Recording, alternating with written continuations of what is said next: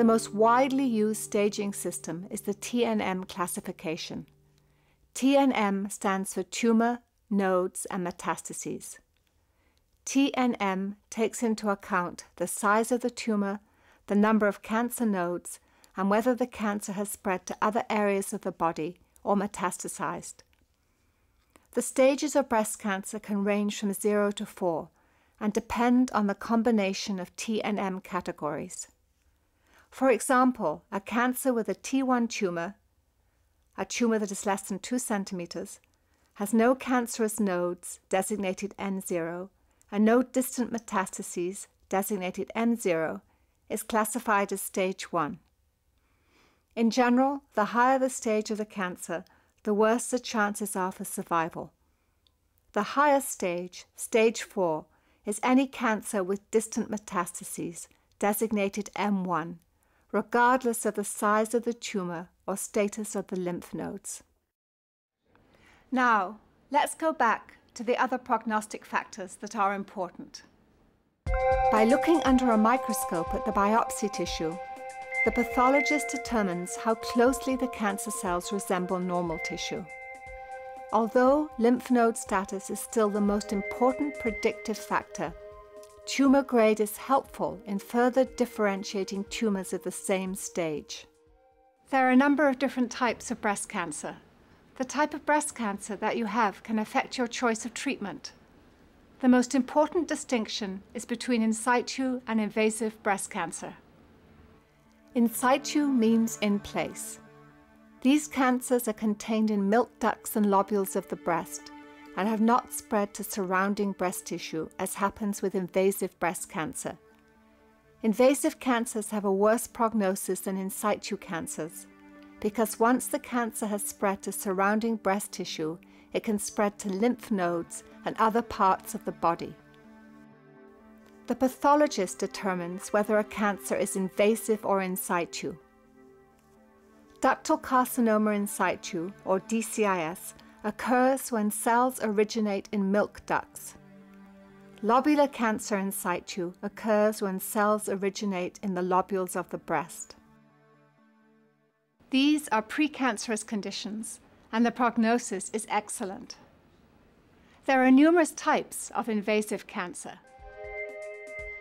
The pathologist looks at the characteristics of the breast cancer cells and classifies the cancer into a particular type. 70% of breast cancer is infiltrating ductal. The next most common type is infiltrating lobular. It has a prognosis similar to infiltrating ductal cancer. Those with the best prognosis include mucinous or colloid carcinoma, tubular carcinoma, and medullary and papillary carcinoma. Another prognostic factor is the presence or absence of estrogen and progesterone receptors on the tumor. The body produces estrogen and progesterone, and some breast cancers have receptors that bind these hormones.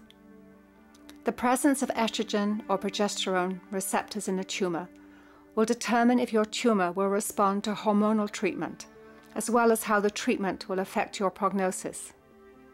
Tumors that have many sites to which estrogen and progesterone attach are known as hormone receptor positive tumors. This is determined by a special stain done on the tumor cells by the pathologist. A receptor positive tumor often needs hormones to grow. Blocking hormones from the tumor slows its growth. The drugs most often used are tamoxifen or an aromatase inhibitor. In women who are estrogen and progesterone receptor negative, these drugs are not effective because the cancer does not need hormones to grow. Hormone receptor positive tumors have less chance of a recurrence than hormone negative tumors. How fast a tumor is growing is known as its proliferation rate. Tumors that are fast growing are more likely to spread to other parts of the body. There are two common tests that are used to determine the proliferation rate. When cells are dividing or proliferating, they express a protein in their nuclei called a proliferation antigen. By counting the number of cells expressing this antigen a tumor's proliferation rate can be determined. Cells expressing the proliferation antigen can be identified using the Ki67 antibody, which attaches itself to the antigen. If the Ki67 antibody attaches to numerous cells in a tissue sample, the tumour cells are probably going to divide rapidly. S phase fraction is less reliable than the use of the Ki67 antibody. The S phase is the point of cell division where DNA is reproduced just before the cell splits in two. A tumour with many cells in S phase can indicate a fast growing tumour. HER2-neu is a protein that appears in high numbers on the outside of the breast cancer cells of some patients. High levels of HER2-neu may be associated with a higher risk of breast cancer recurrence. The most accurate test for HER2-neu overexpression is the FISH test, fluorescent in situ hybridization. Breast cancer cells that are HER2-neu positive do not respond as well to certain chemotherapy drugs. However, the good news is that breast cancer cells that are HER2-neu positive respond to Herceptin. Herceptin is an antibody that attaches to the HER2-neu protein on the surface of the cancer cell, slowing its growth.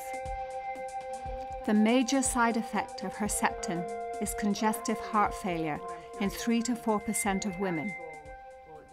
Your heart function will be followed carefully if you receive Herceptin. After you've had your surgery, you will meet with your doctor to discuss the pathologist's report. You will find out the type of breast cancer, its size and grade, and type of growth. You will also discuss whether the nodes are involved, the stage of the disease, the hormone receptor, and HER2-neu status. It is important that you understand what these factors are. You may want to bring a friend to the meeting and tape record the discussion so you can go over it later. Depending on the stage of your cancer, your physician may want to get additional tests, such as a bone scan, PET scan, and CAT scan of your body to see if your cancer has spread. A bone scan is a test where tiny amounts of a radioactive substance are injected into the vein. Two to three hours later, the entire body is scanned. Areas that are intensely black indicate where cancer is growing in the bones. CAT scans create an image of internal organs of the body. They are not capable of showing very small areas of tumor involvement. PET scanning is becoming increasingly popular for staging breast cancer. It involves injecting a radionuclide combined with a sugar into a vein. Because malignant tumours are growing at such a fast rate compared to healthy tissue, the tumour cells will use up more of the sugar which has the radionuclide attached to it. The computer measures the amount of glucose consumed by the cancer cells to produce a color-coded picture. These tests may be negative, but that does not mean that there is no cancer present. These factors are used by your physician to determine your chances of being cured and whether these chances can be improved by the use of chemotherapy or hormonal therapy or both, referred to as adjunctive systemic therapy.